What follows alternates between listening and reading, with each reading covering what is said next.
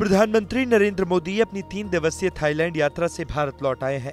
Thailand में PM ने सोलहवें आसियान भारत शिखर सम्मेलन में, चौदहवें पूर्व एशिया शिखर सम्मेलन और तीसरे आर शिखर सम्मेलन में भाग लिया। भारत ने 16 देशों के आरसीईपी व्यापार समझौते पर हस्ताक्षर करने से मना कर दिया है।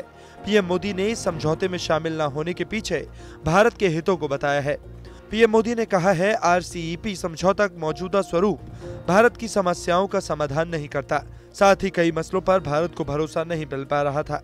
ऐसे में सवाल ये भी अहम था कि भारत को आरसीईपी समझौते में शामिल होने से क्या नुकसान होते हैं।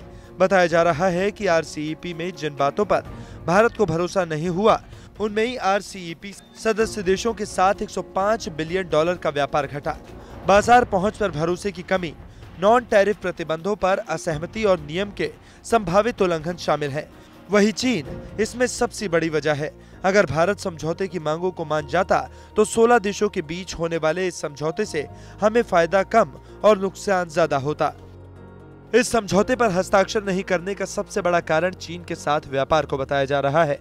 साथ ही इन पाँच कारणों की वजह से भी भारत ने हस्ताक्षर से दरकिनार किया। पहला भारत अगर आर समझौता करता तो वो भारतीय बाजारों में सस्ते चाइनीज़ सामान की भरमार होती।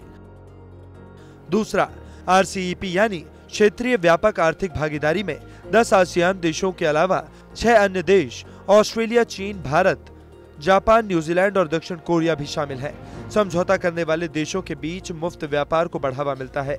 लिहाजा भारत समझौते में शामिल होने से चीन को भारतीय बाज़ार में पैर पसारने का अच्छा मौका दे सकता था। तीसरा आरसीईपी में शामिल देशों के साथ भारत को आयात ज़्यादा करना पड़ता। समझौते में ऐसी कोई व्यवस्था नहीं है, जिससे अगर आयात बढ़ता है तो उसे नियंत्रित किया जा सके। यानी चीन या किसी दूसरे देश के साथ सामान को भारतीय बाज़ार में कितनी जगह देनी है, ये बात स्पष्ट नहीं थी। चौथा कारण था टैक्स कटौती। इस समझौते में शामिल देशों को एक दूसरे को व्यापार में टैक्स कटौती समेत तमाम आर्थिक छूट देनी होगी। लेकिन समझौते में नॉन टैरिफ प्रतिबंधों को लेकर कोई भरोसेमंद वादे की बात नहीं कही गई है। पांचवा कारण था वित्त घाटा। आर में जो देश शामिल हैं, उनके साथ भारत का व्यापार भी फ़ायदेमंद नहीं रहा है। पिछले एक साल का वित्त घाटा 105 बिलियन डॉलर रहा है यानी इस लिहाज से भी भारत के लिए यह समझौता फ़ायदेमंद नहीं रहता।